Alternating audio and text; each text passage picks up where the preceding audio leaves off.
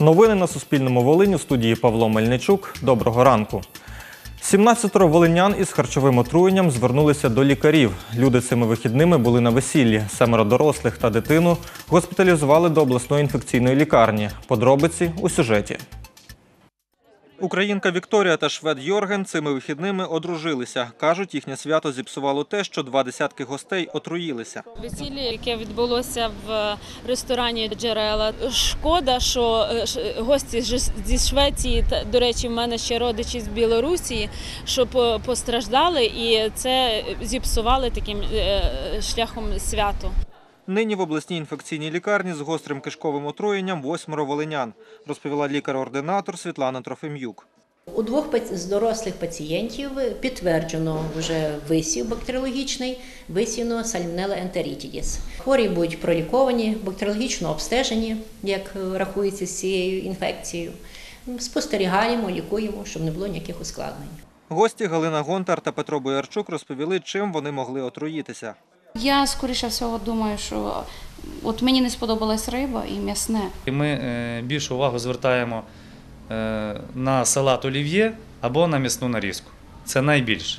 Лікар-епідеміолог Валентина Новачевська каже, фахівці лабораторного центру розслідують отруєння людей. Зараз в роботі у бактеріологів е, є проби харчових продуктів, які були на весіллі. Також забиралися змиви на харчоблоці. За фактом отруєння людей розпочали розслідування і в поліції. Мова йде про порушення санітарних, санітарних правил та норм щодо запобігання інфекційним захворюванням та масовим отруєнням. Це ресторанний комплекс, де відбувалося весілля. Він за два десятки кілометрів від Луцька по дорозі на Рівне. У момент приїзду нашої знімальної групи заклад був зачинений. Працівники, які були всередині, побачили нас та утікли. Одна з працівниць, яка не захотіла представлятися, сказала, що будь-яку інформацію стосовно ситуації з отруєнням гостей на весіллі вони коментувати поки не будуть, а розкажуть подробиці лише після того, як санепідеміологи проведуть розслідування. Також вона попросила нас залишити територію ресторації. Вікторія каже, що на контакт адміністрації ресторану з ними не йде. Думає, чи позиватися на ресторан до суду.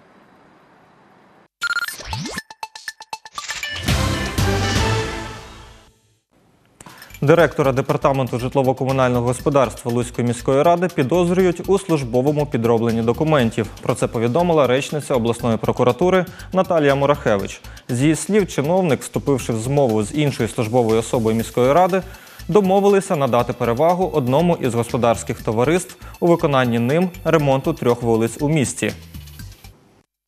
Узаконили придбання товарів, робіт і послуг ТЗОВ Луцька ДПМК ще до моменту проведення процедури закупівлі. З дозволу та відому посадовців міської ради товариство упродовж червня-липня минулого року виконало ремонтні роботи, які на той час вже були включені міськрадою до публічних закупівель ще до оголошення результатів проведення торгів. Після завершення робіт, аби легалізувати проведення із підприємства розрахунків за рахунок бюджетних коштів, за результатами нібито проведення торгів на підставі протоколу розгляду тендерних пропозицій переможцем визнали саме те господарство, яке уже провело роботи. Після цього посадовці склали, засвідчили та подали до органу держказначейства для проведення розрахунків фіктивні документи щодо виконання будівельних робіт і їх прийняття, начебто після проведення процедури закупівель.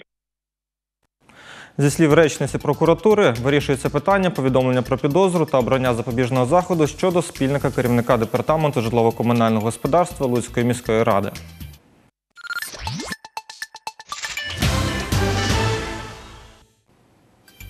На сайті Луцької міської ради лучанин Володимир Коляда зареєстрував петицію із проханням встановити пішохідний світлофор на перехресті вулиць Рівненської та електроапаратної.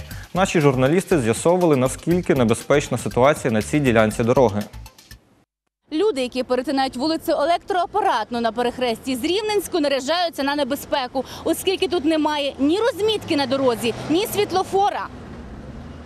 Антоніна Поліщук із внучкою мешкають у цьому районі. Кажуть, аби перейти вулицю електроапаратну і впевнитися в безпеці, потрібно дивитися в трьох напрямках. Продовжують, що для пішоходів в цьому місці потрібен світлофор. Потрібний в зв'язку з тим, що тут маса е, людей, і машин, і діточки переходять, і по продукти дачний масив йде, щоб купити. бабушки старенькі приходять. Водій Анатолій Яковчук каже, що особливої необхідності встановлювати тут світлофор для пішоходів немає. Тут я думаю, що тут не такий великий рух, щоб е, переходити. Світлофор ставити. Поки немає світлофора, на даному відрізку дороги необхідна хоча б дорожня розмітка, оскільки люди мають орієнтуватися, що тут є перехід, каже патрульний поліцейський Роман Ткачук. Поки про наявність переходу тут свідчить лише дорожній знак для водіїв. На даному відрізку дороги ДТП за участі пішоходів е, не було зафіксовано на протязі тривалого часу. А що стосується водіїв, то вони при повороті ліворуч або праворуч мають бути е, уважні, знову ж пропустити як пішоходів, так і тра- транспортні засоби, які е, рухаються по головній дорозі. За словами патрульного поліцейського, аварії на цьому місці траплялися переважно за вини водіїв. Як розповів інженер-технолог комунального підприємства Луцьк Світло Олександр Шандрук, до Луцька приїжджали спеціалісти Харківського дорожнього інституту, які розробляли загальну схему автодорожнього руху обласного центру. По їхніх е, пропозиціях було зроблений проект, розроблений, вже затверджений, розроблений, в якому передбачається встановлення пішохідного переходу і автодорожніх колонок, е, транспортних і пішохідних колонок світлофорів. До нового року Лусітло планує встановити світлофорний об'єкт. Це уся інформація на цю годину. Наступний випуск уже о 8 А далі наш ефір продовжує шоу Ранок нової Волині.